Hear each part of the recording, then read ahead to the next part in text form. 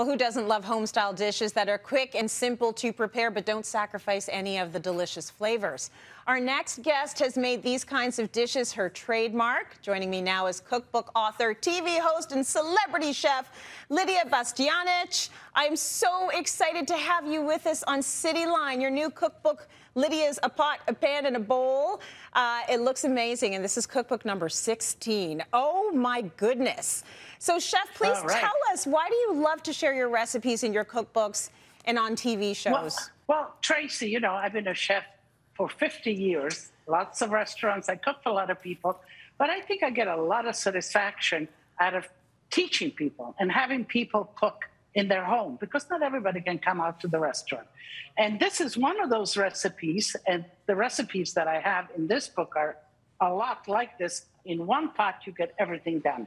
So I have chicken alla cacciatore here. I'm putting some oil in the pan. I already browned my chicken right here uh, because that takes a while. I'm going to add on onions. And when you put the onions, you add them on not you know, not too thinly sliced because then they sort of disintegrate. In the meantime, I want to share that I salted and seasoned the chicken. This is drumsticks. Everybody's into chicken breast. But you know, I love the dark meat and it's cheaper and it's moister and it lasts, it doesn't dry out if you cook it before. So drumsticks are good. I like chicken wings too, but here I have drumsticks. And to this, I'm going to add some peppers, and the peppers sliced again a certain size so that they don't disintegrate. And we let that all brown nice, kind of let it wilt, you know. You add the vegetables as they cook. And then we add the chicken back into it, just like that. You can see the chicken has been nice and brown. Add it back into the pan, and you let this sort of cook together for a little while. And you know, it takes a process. Yeah, TV wants everything quick, but this takes about 20 minutes to 40 minutes to finally cook it. A little bit of wine to deglaze it. I like how that. you're just eyeballing the wine there. Wine should always be added to when it's dry, so to deglaze, to get all the sauces out, and just enough to fit the bottom. And then you let the wine, the alcohol dissipate. What right. you want is the flavor of the wine.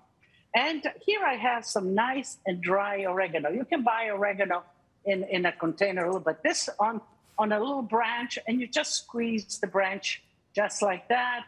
And to this, I add uh, plum tomatoes. Nice. I like my San Marzano tomato. Mm-hmm. I squeeze them. I get them plum. Don't mm-hmm. get the crushed tomato. The plum tomato, I add that right in here.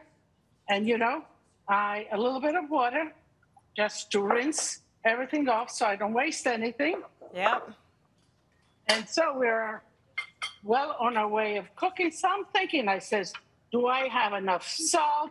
I salted the chicken. I didn't salt the mushrooms and all of that. So a little bit more salt. And I like a little pepperoncino. You like spicy stuff? I do. Throw in a little okay. kick there. Do it, chef. I love it. Okay. Okay. So this is it. And you let this kind of really bubble and boil away and cook. And ultimately, it gets finished.